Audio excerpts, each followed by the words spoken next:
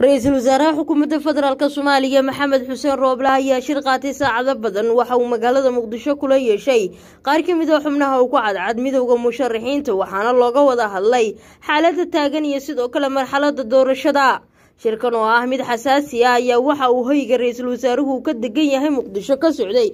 Saacado dhowra waxaana madasha ku sugnaa inta badan xubnaha midowda mucaaradka. Ilo xoggaal ah ayaa waxay warbaahinta la wadaageen in shirka ay diiradda ku saarayaan dhinacyadu arrimo ku saabsan shirka loo ballansan yahay. Toddobiyo labaatanka bishan inuu qabsoomo kaas oo u dhexeeya ra'iisul wasaaraha soomaaliya madaxda maamul goboleedyada iyo sidoo kale guddoonka gobolka banaadir. Xubnaha mucaaradka ah ayaa aada u danaynaya inay qayb ka noqdaan shirkaasi maadaama looga hadlayo doorashada iyo qaladaadka xilligan jira golaha midowda musharaxiinta mucaaradka soomaaliya ayaa hore u soo saaray qoraal wadajir ah oo ay ku soo dhoweeyeen shirka ka dhacaya magaalada muqdisho ee wadatashiga qaran.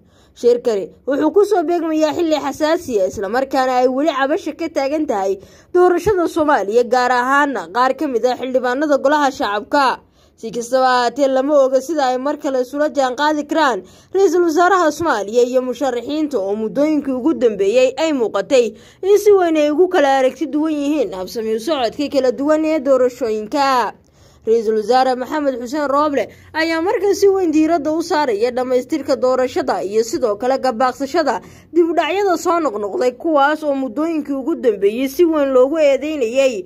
Waxaana ra'iisul wasaaruhu fagaarayaal kala duwan uu ku sheegay in ujeedadiisa ugu badani ay tahay in sida ugu dhaqsiyaha badan loogu guuleysto soo afjarka doorashada soomaaliya afhayeenka xukuumadda soomaaliya maxamed ibraahim macalimo ayaa qoraal kooban oo uu soo saaray waxa uu ku sheegay in arrimo badan ay ka wada hadleen ra'iisul wasaaraha iyo sidoo kale xubnaha ka tirsan midowda musharaxiinta. Sidoo kalena wuxuu tilmaamay in ra'iisul wasaaruhu kulamo kale uu la qaadan doono qaybaha bulshada oo ay ugu horeeyeen ururada bulshada rayidka. Ah ra'iisul wasaaraha ayaa waxa uu sheegay in uu ururada bulshada rayidka ah ka dhageysan doono talooyin ku aadan doorashada dalka ka hor shirka golaha wadatashiga qaran ee isniinta soo socota ka furmaya muqdisho si kastaba ha ahaatee kulankan ay yeesheen xubnaha midowda musharaxiinta iyo ra'iisul wasaaraha xukuumadda federaaliga ah ee soomaaliya ayaa ku soo beegmaya xilli si weyn indhaha loogu haya habsami u socodka doorashooyinka lana dhur sugayo natiijada ka soo bixi doonto kulanka ay iskugu imaanayaan xubnaha golaha wadatashiga qaranka ee soomaaliya. Iidaaros maagne wararka laanta afka soomaaliga ah ee c b a t v muqdisho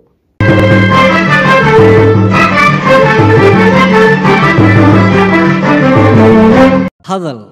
Oo hadal. Oo hadal. Oo ku hadal. Bishii oo dhan. Toddoba dollar. Oo keliya. Ku darso fariin kasta oo aad dirtaana waa kuu bilaash. haddaba si aad ugu shubato adeega kaafiye fadlan garaac xidig siddeed eber siddeed afargees ama xidig laba eber laba afargees. Isticmaal shabakadda ugu ballaadhan geyga somalilan